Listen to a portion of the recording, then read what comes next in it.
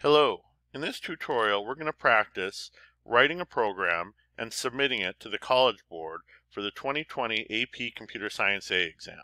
So right now I've got this practice website up. This is the official AP practice website. We'll come back to this later. My second tab, I've got the Java Quick Reference Guide. It's probably worth having a printout of this too. In the third tab, this is a CodeHS sandbox. So basically I'm going to use this as my IDE to help me format the text. This fourth one is Replit, which does the same thing as the CodeHS sandbox. However, I figure I have two up. That way, if one of them's not working on test day, I'm in good shape. I can use either or. In the description of this video, I will have links to all four of these websites. So let's go back to the AP 2020 exam. This is practice, so I'm just going to type in practice. For the actual exam, you'll have your own AP ID. So let's hit continue. You know, it's telling me the amount of time we have, and, you know, on the real exam, we're going to have more time than this. We're going to say get started. Let's type in a name.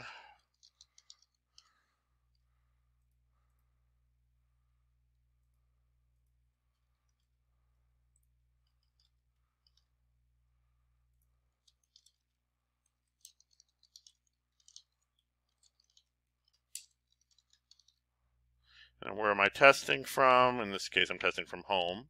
You know, you can choose to grant the College Board rights to use your stuff if you want.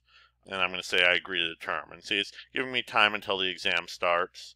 I'm going to hit continue. Now that we've started, we can't use the back or the refresh button on our web browser. If we need to navigate around, we can use links or buttons on the web page itself. Okay, so now I got to wait another three minutes till the exam starts before I can start doing anything else. So let's kind of go through and let's look at the CodeHS Sandbox, and that's what I'm going to use. For both Replit and the CodeHS Sandbox, you do not need to create an account to use it.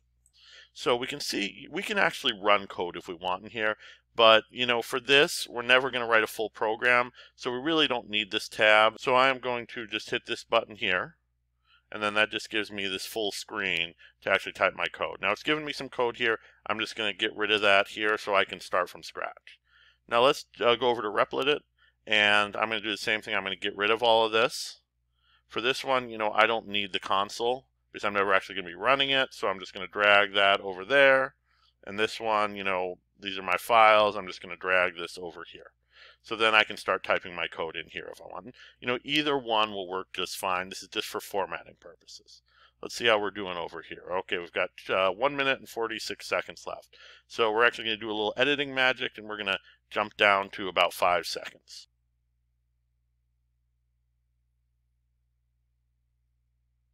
Okay, now we're going. We're going to start on question one. We'll hit continue. It's telling us we've got just under 10 minutes left.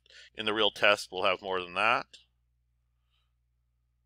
So let's go down here. You know, it's saying on exam day, your question will display here. I'm just going to make up a question, okay?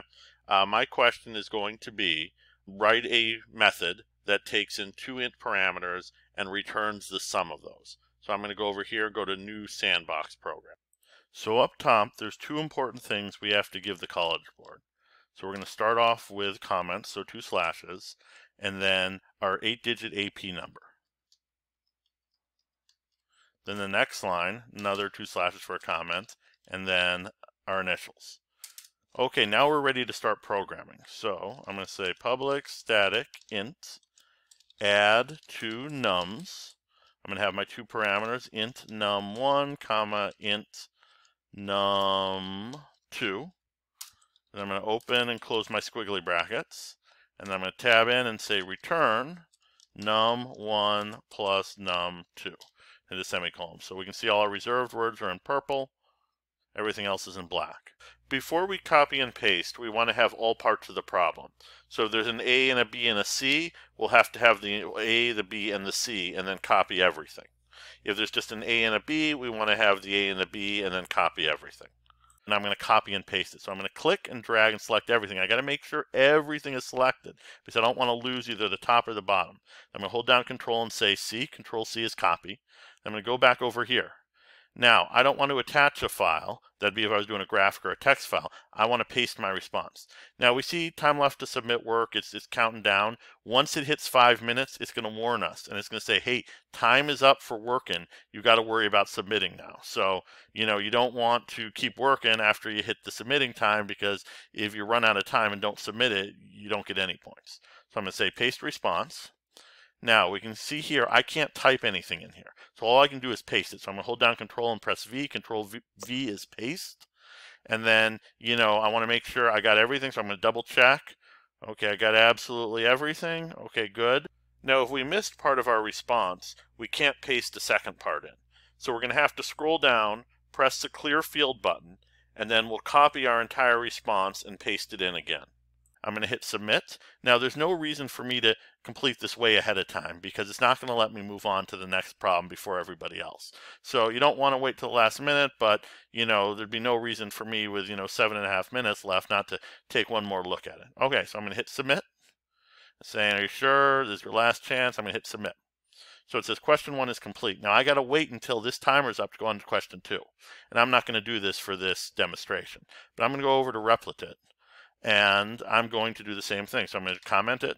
I'm going to say my AP number. The next line, two more slashes, initials. I'm going to write basically the same program.